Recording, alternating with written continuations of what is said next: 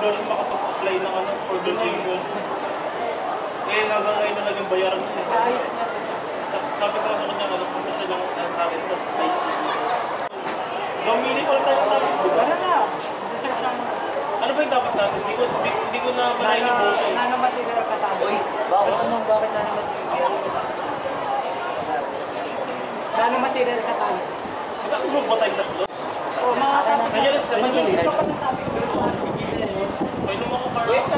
Yun sa Ay, grabe din nakita.